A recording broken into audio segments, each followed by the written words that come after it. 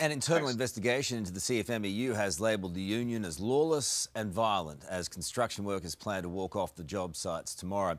For more, we're joined by 60 Minutes and the Age investigative reporter Nick McKenzie. Hey, Nick, great to see you again, mate. Um, look, this report found bikies are still influential in the union despite what's happened. Are they still on sites right now? Well, that's what the report says, and you've got to say, this report was actually commissioned by the CFMEU itself. Uh, you know, the National Secretary, Zach Smith, got Geoffrey Watson, a very respected barrister and anti-corruption uh, expert, to go investigating, and he's found the bike bikies still there.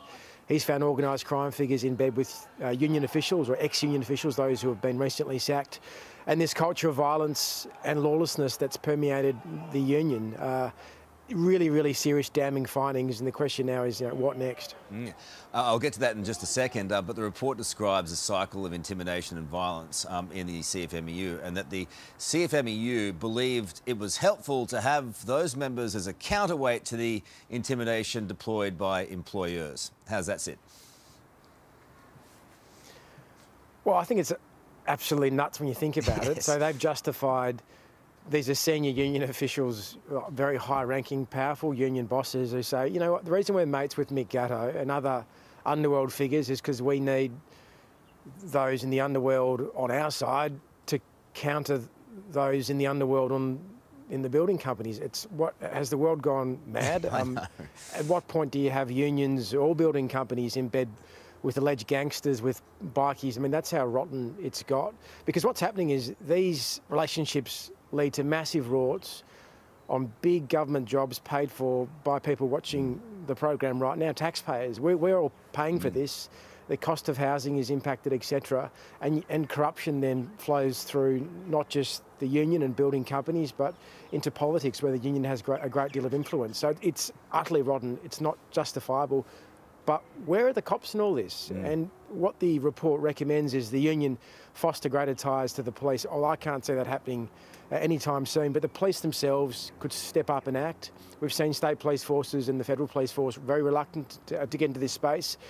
That failure to act by police forces is part of the problem.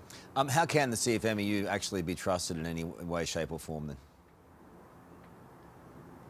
Well, the administrator now has been appointed, effectively taken over the CFMEU.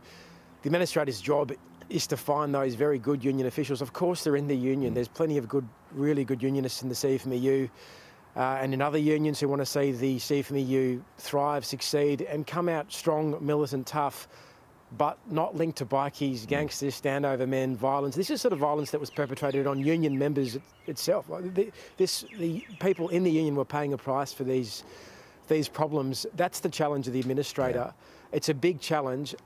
Unfortunately, people within the union movement are pushing back. Uh, the ETU, Electrical Trades Union, is pushing back, trying to to support the old rotten regime of the CFMEU. So at the moment there's a standoff and, and who knows who's going to come okay. out uh, on top. Look, the other story kicking around is that um, this all reached Anthony Albanese's desk. Um, is any of that proven?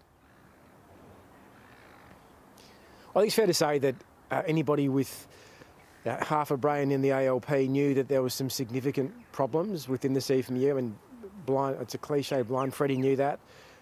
Did, did the Prime Minister know about the relationships between Mick Gatto and very senior CFMEU officials? That's the, at the heart of these allegations. Listen, I think the evidence so far shows that there was a, a general awareness, but not the specific evidence that, that we put on the table uh, on 60 Minutes and, and in the Age Sydney Morning Herald recently. That we showed hard evidence of gangsters, organised crime figures in bed with union officials, union delegates who are actually senior bikies. Mm. Up until then, General knowledge, yes. Uh, specific knowledge, no. Nick McKenzie, always good to talk to you. Thanks, mate.